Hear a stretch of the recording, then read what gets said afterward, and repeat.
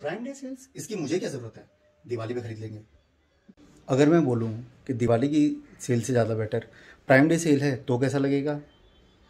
वो इसलिए क्योंकि इस सेल में जो डिस्काउंट मिलने वाले हैं और जो लॉन्चेस होने वाले हैं वो दिवाली की सेल से पहले की अमेज़न की एक रिहर्सल होती है। लेकिन मेरे पास तो प्राइम मेंबरशिप नहीं है। और ये सेल वही लोग यूज़ कर सकते हैं जो प्राइम मेंबर हों।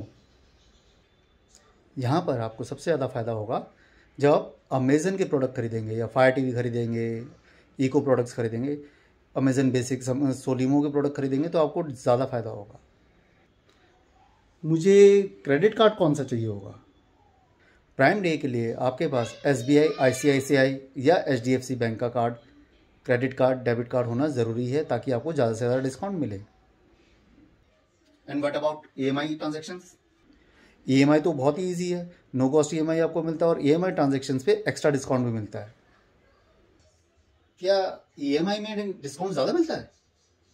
वही तो।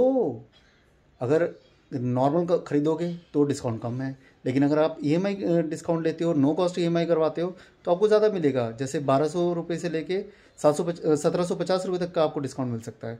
जबकि non E M I transaction पे आपका यही डिस्काउंट सात सौ पचास रुपये से बारह सौ रुपये है। लेकिन किन प्रोडक्ट्स पे मुझे ज़्यादा डिस्काउंट मिलेगा?